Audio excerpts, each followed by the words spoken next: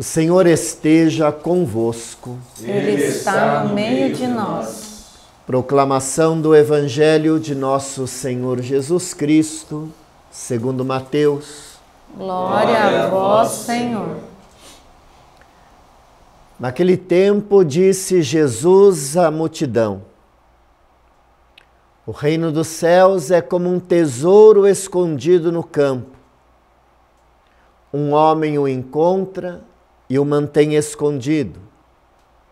Cheio de alegria, ele vai, vende todos os seus bens e compra aquele campo. O reino dos céus é também como um comprador que procura pérolas preciosas. Quando encontra uma pérola de grande valor, ele vai vende todos os seus bens e compra aquela pérola. Palavra da nossa salvação. Glória a vós, Senhor. Que a palavra do Santo Evangelho perdoe os nossos pecados. Amém. Irmãos e irmãs, hoje a palavra nos coloca diante de um grande desafio: descobrir o tesouro da nossa vida. A palavra já nos anunciava antes: onde está o vosso tesouro, aí estará também o vosso coração. E somos desafiados justamente a isso, a descobrir qual o valor que nós buscamos. Com certeza, o Evangelho de hoje nos traz Jesus como o grande tesouro, o reino dos céus como um grande valor. Mas será que nós já descobrimos isso? Será que nós já encontramos esse tesouro? Devemos nos perguntar, porque se encontramos o tesouro, vai acontecer na nossa vida aquilo que a parábola de hoje nos diz. É importante compreendermos. Né? A linguagem da parábola diz que o homem que encontrou o tesouro escondido no campo, ele vai, cheio de alegria, vende todos os seus bens e compra aquele campo. Assim como o comprador de pérolas preciosas. Ele vai, vende tudo o que tem para adquirir aquela pérola preciosa. E é importante entendermos este vai e vende todos os seus bens. Né? Primeiro temos que ter claro: os bens materiais nunca irão comprar o reino dos céus. Nós não podemos comprar o reino dos céus com nossos bens materiais.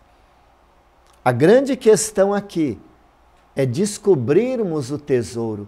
E a partir do momento que descobrirmos o tesouro, a pérola preciosa, tomarmos consciência do valor do reino, nós vamos priorizar aquilo que nos dará a vida eterna, aquilo que fará com que façamos a experiência da graça, aquilo que mergulhemos na salvação.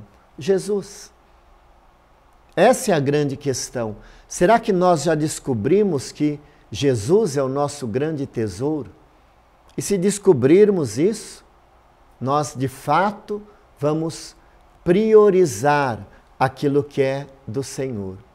Vamos priorizar os valores do reino e vamos testemunhar esses valores.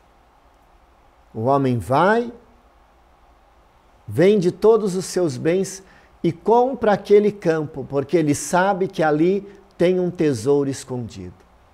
Será que nós sabemos que na Eucaristia, na Santa Missa, tem o tesouro escondido? Nós, por muitas vezes, temos tantas dificuldades né, em participar da Santa Missa, é só um exemplo aqui. Por muitas vezes o mundo nos consome, nós temos tempo para tudo, mas não temos tempo para a Santa Missa, é porque ainda não descobrimos o tesouro, nos iludimos. Por muitas vezes temos a nossa participação na Santa Missa como uma obrigação. O mandamento da igreja manda que eu vá à missa. E eu vou à missa, mas não descobri ainda que na missa tem um grande tesouro. Porque se eu tivesse descoberto, seria a prioridade da minha vida. Essa é a grande questão do evangelho de hoje. Não é sair por aí vendendo os seus bens materiais, porque com eles você não vai comprar o reino. Mas é descobrir o grande tesouro que é Jesus, o grande valor que é o reino de Deus e priorizar isso na nossa vida. Priorizar diante do mundo que nos oferece tantos caminhos. Priorizar, inclusive, diante dos bens, quando por muitas vezes nós trabalhamos de domingo a domingo, não tendo tempo para Jesus, não tendo tempo para a Eucaristia, porque priorizamos os bens materiais, porque queremos garantir o futuro. E garantindo o futuro desta forma, nós podemos perder o reino dos céus, porque não compramos o campo onde tem o tesouro que é o reino. A santa que celebramos hoje compreendeu muito bem isso, Santa Rosa de Lima. A décima filha de treze filhos, que viveu na sua condição de pobreza, que viveu a graça de ter descoberto Jesus como seu grande tesouro.